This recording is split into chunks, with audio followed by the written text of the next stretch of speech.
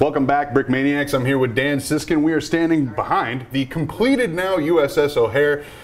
How's it feel to be done with this bad boy? It's great. Yeah. Want to pack it up, get it out of here, work on the next one. well, it's such a beautiful setup here we got going on right now. I mean, tell me a little bit about uh, just kind of the process. I know this was kind of one that everybody got to help out with a Right. little bit more, which was kind of fun. But uh, yeah, walk me through it. so, so this is in the past the big mega ships I've done myself, taken months and months and months. I wanted to streamline that process. We want to make more than one of these uh, builds a year, and uh, had some help. We got some digital printouts, did, did some digital modeling. Able, we were able to make some plans that everybody was able to follow. Other people handed off to other people. So we had about four or five builders build the hull. Got the hull done in about a week's time.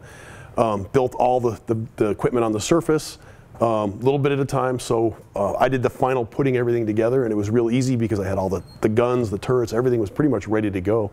Um, people helped out with the, the minifigures, and it was just you know having a group of people. Obviously, the more hands, the quicker your, your job's going to go. So Being able to streamline a large build like this, this was the first time you really kind of attempted to get more people involved, right? So about a dozen people worked on this Okay. over the course. We, we spent about a month um, doing it, but it wasn't like we spent all month doing it. We we got the hull done in a week. Had to set it aside while we you know got the next got ready for the next phase. So the deck went on, then the deck houses, and then you know was able to take all in the meantime get it enlist help building all the, the equipment that goes on, on on top. So obviously the destroyer people know of, if they haven't seen this yet, is the Nicholas. Compared to that, how do these two kind of relate and just kind of build style and the sections and all that? The Nicholas wasn't very strong. We moved the first time we moved it across the country. We destroyed it on the way to the show. no. Uh, we were able to rebuild it from the pieces and get it on display, but it was a it was a pretty har- harrowing experience. Built rebuilding it in a vehicle, moving driving across the country. Um, the first one I built um, in three sections. Wanted to make sure it fit through doors, could fit in vehicles, and um, we learned that three sections maybe was not a good idea. Four sections would be better. The smaller sections, the better. Um, it actually packs up better in four sections. Now this thing, you could pick up sections no problem. It- it's very durable. Um, went from the Nicholas was the first one, and that was actually a warm up for the USS Missouri, which is the, the, the previous big build. And the Missouri is very sturdy, uh, and all the lessons we learned in building those two ships went into this. So, uh, very very sturdy sections. We can pick up any section, pretty much toss it up in the air, and, and, and, you know I've stood on top of this ship as we were Right, building that's, that was going to be my next question. Yeah. I've seen you stand on the Missouri too. yeah, and I, and I stood on this. You can stand here. You can stand back there. The whole thing is sturdy enough. There's there's not a place that I wouldn't feel comfortable, except all the stuff on top would have to be moved because otherwise it just get crushed. But um, it's it's it's very you know every every component um, is very sturdy. It's not going to come apart very easy. So in, in, in World War II, the U.S. Navy built these. They're called flush deck destroyers because it's one continuous deck down the whole length of it. So the the the USS Nicholas is a Fletcher class destroyer, which is earlier on in the the you know when de- development of World War II destroyers. Okay. And it's kind of like the same thing that we did. That was that was what came first.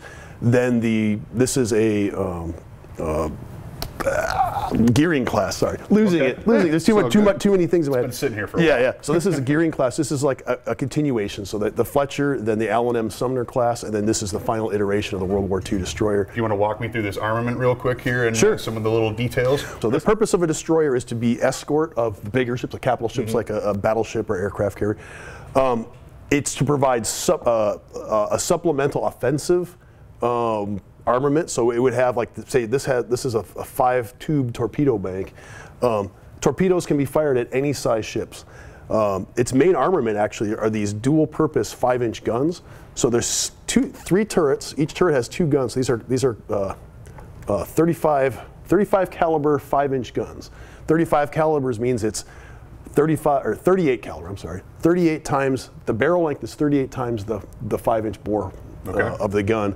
Um, they can be used as fire uh, targets on shore, other ships, and of course uh, used against uh, aircraft.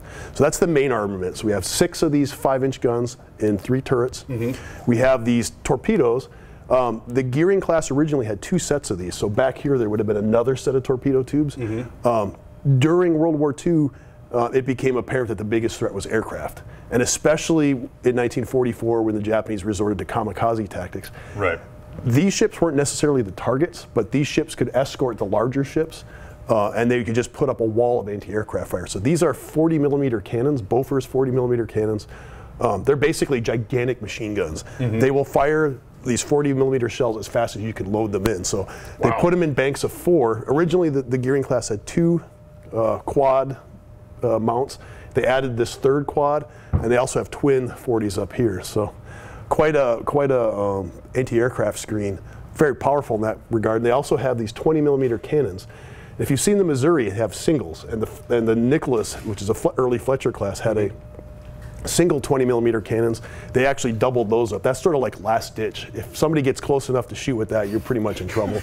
in fact, they did determine sort of later in the war that they weren't, you know, while they could shoot down an airplane, if somebody's flying directly at you, a 20 millimeter shell isn't going to do a whole lot. So you, you, you know, you could bring down an airplane with it, but it, the pieces are still going to hit you. Sure.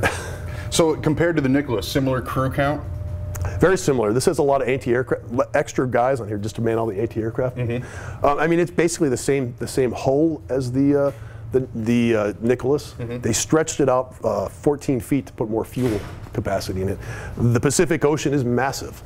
And in order for these ships to get across the Pacific Ocean, they could do it from, like, say, San Francisco, but they'd have to be refueled along the way.